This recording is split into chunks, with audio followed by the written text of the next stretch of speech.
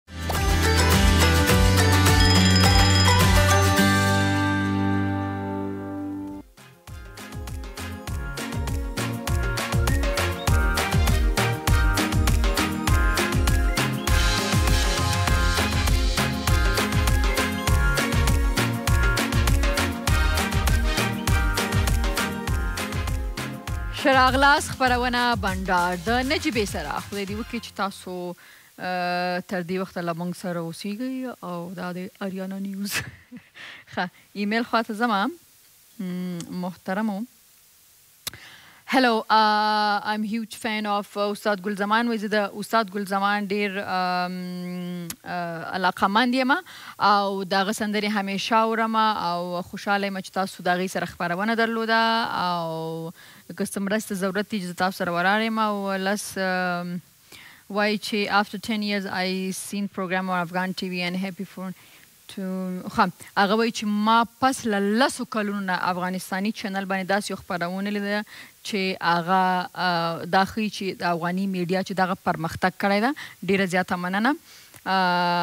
وایی چی زه تاسو سره دونه فیملیر نه یم یعنی دومره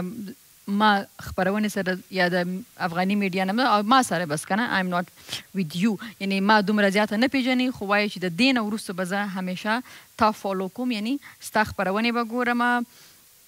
او ولویلی چې لخیره سره وګورو او دا هم احمد دی صحیح ده احمد د کم ځای نه دی مونږ ته دا ایمیل لګړي او ډیر خاصه کار کې څه کړی دی ډیره مننه د دې ایمیل چې کوم څور توایي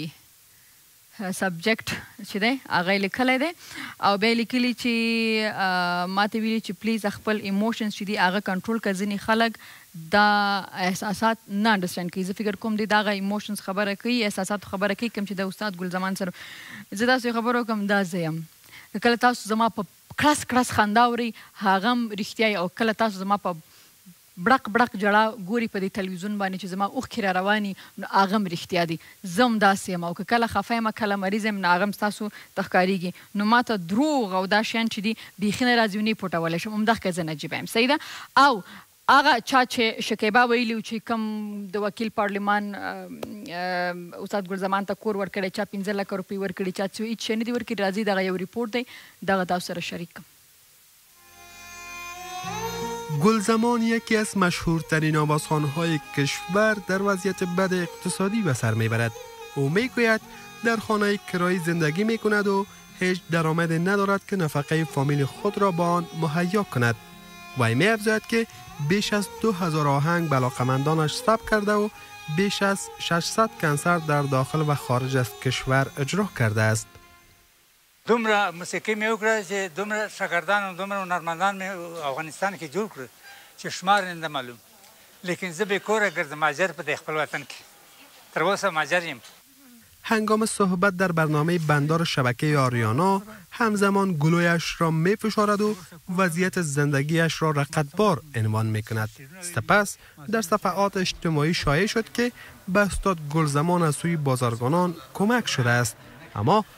خودش این موضوع را رد می کند.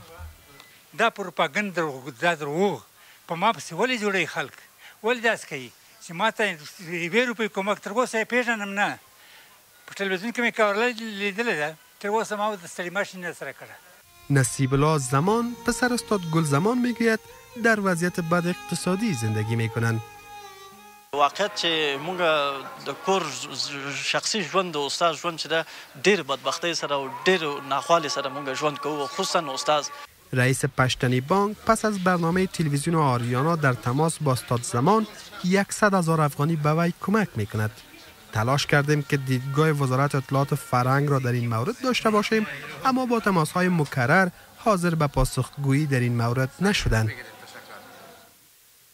ښه نو یقینا تاسو د ټولو د ته معلومه شوی چې په سوشل میډیا کې څومره خلک د استاد ګلزمان سره ولاړ دي زه دا غي ټولو څخه ډیره زیاته مننه کوم چې ماته او زما همکارانو تاریانا تلویزیون چې څومره همکاران دي هغه خلک چې زی پیژنم یا غي د معلوم دي چې نجیبې پیژنې غټونه د استاد ګلزمان شمیره غوښتره که تاسو هم غواړئ چې ډایرکټ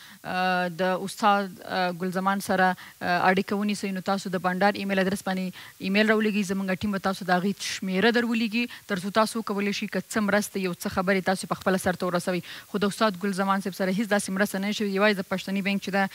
هغوی څه مرسته ورسره کړې ده هغه تاسو په دې رپورټ کې ولیده ښه او همدې سره ځمه د ایمیل خواته. ښه بل ایمیل دی. سلامونه نجیب بی خورکۍ خدای دی راته روغ جوړ او خوشحاله سر لوړی لره ډیره زیاته مننه سومن یم د کندهار څخه ډیره زیاته راباندی ګران یی ډیره زیاته مننه زمونږ د افغانستان ستوری یی ډیره زیاته مننه بیا تاسو او راشد دواړه خو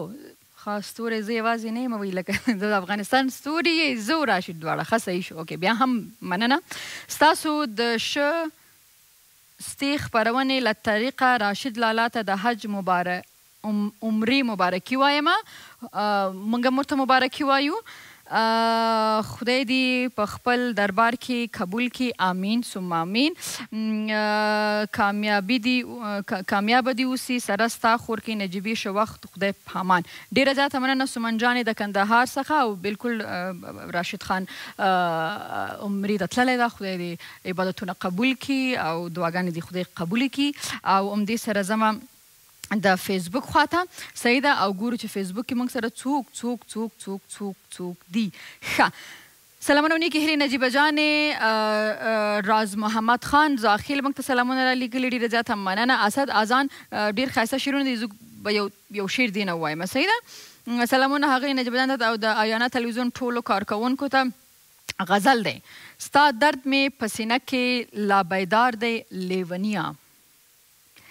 ژوندون مې ستا د لاسه ناکرار دی لېونیان یو زه یم چې زما خو د رټلو هم څوک نشته یو ته یې چې په تا پسې ټول ښار دی لېونیان ډېره زیاته مننه خیر اوسې کور ودان ښه اها اوهو ښه دومره ډیر شعرونه دي خدای پاکه ښه بیا امید سادات وای تنها بودن قدرت میخواهد این قدرت را به من کسی داد روزی میگفت که دیگه تنها نمیگذارمت سلام صد سلام خدمت شما نجیبه جان شبتان بخیر امیدوارم که جور صحتمند باشین تشکر از ننگرهار برای ما کامنت مانده بود اوگه خب اما آل هم دیگه اینجا یک شعر بود که کجا رفت از پیشیم خب صحیح ندا محشر سلام خدمت شما گردادندی موفق نجیبه جان خو آل خدا کنم شیر مسایی بخوانم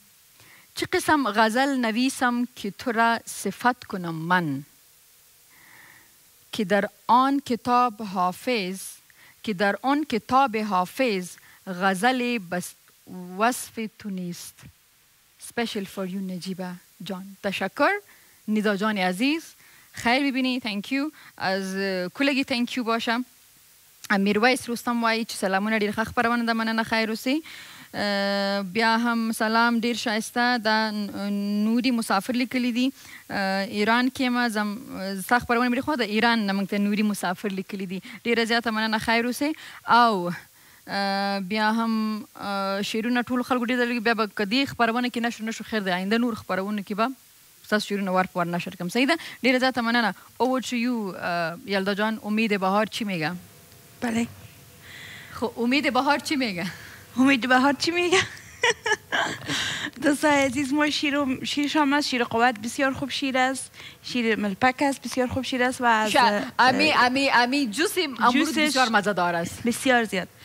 خب امی غذا که شما تیار کردین نام خو ما باید بیایم اونجا تشریف خدا بیارم بله بیایم بیاین اوکی ما باید ببینم آی چه رقم موی است با خدا خب